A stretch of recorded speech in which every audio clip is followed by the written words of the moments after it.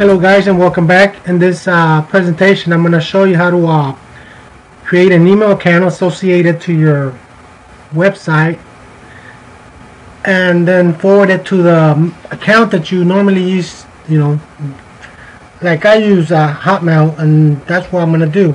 For now let's go into our domain name, type in your domain name, you know, your name.com or whatever your domain is, .com and cpanel at the end.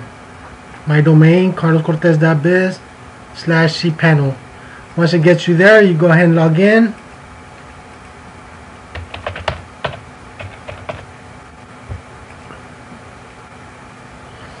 Once you log in, it's going to take you into your cPanel account. Scroll down a little bit, you'll see uh, where it says uh, your mail options here. You can click on emails account. Right here, this is where you create your account.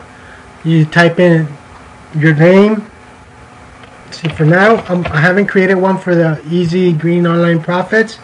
So I'm going to go ahead and do that. I'm to click here and then click on. So that's my new email account. And then I'll type in a password.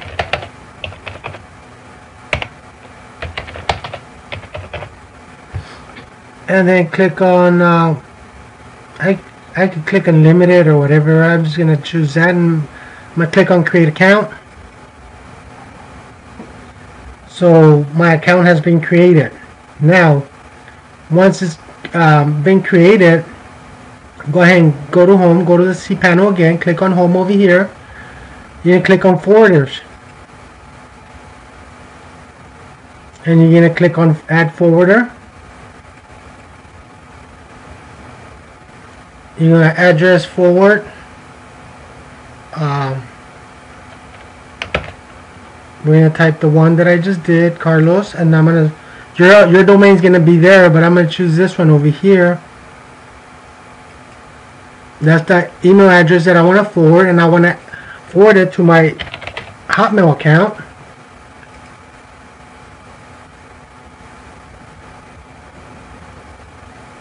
It says it's not valid, but let me click on it. I'm sure it is. I mean, I have everything in there. There we go. An email has been sent. Will now be copied to troubles999 at hotmail.com. Now, if uh, now you can click on go back or click on home. But that's what I wanted to show you. That's how you forward it over there to your email account. Now, if you have a Hotmail account, I have my Windows Hotmail account open. Now, if I'm over here, I could click on um, go to inbox right there.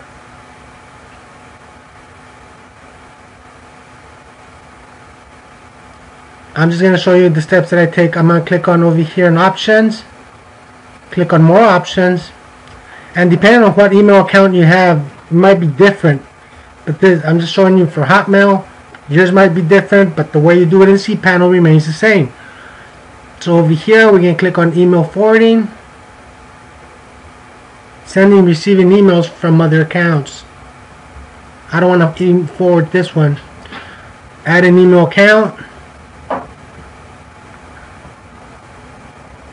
As you can see, I already have my Carlos at carloscortez.biz on there.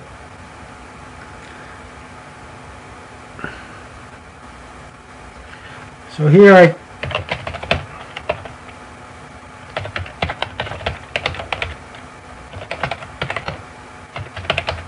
you enter the email that you saved over there and your password and click on next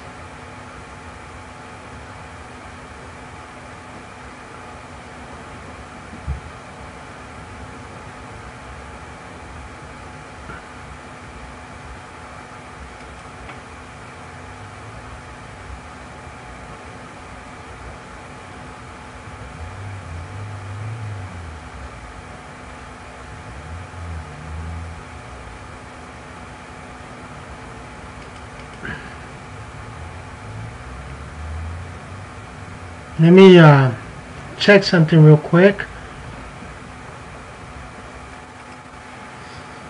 Okay, the problem I was having, I was clicking on add an email account. I already have one. What I'm going to do, I'm going to click uh, add another account to send mail from.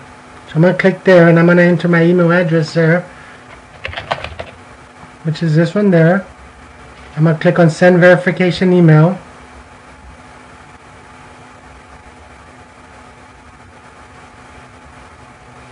Now it's waiting for a verification, so I'm just going to go to my inbox because I should be receiving it.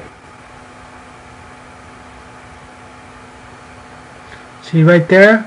I'm going to go ahead and verify it.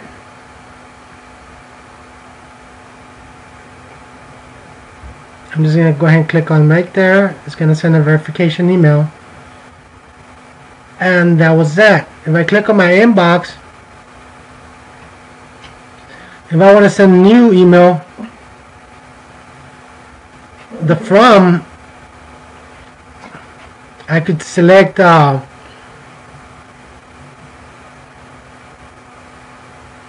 uh, hold on. Let me see here. The from, I can select anything.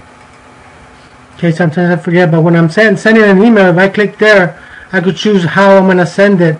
If I wanted to send it as this or as this, they'll receive it as this. If they send me an email to this account, I'm going to reply with this account.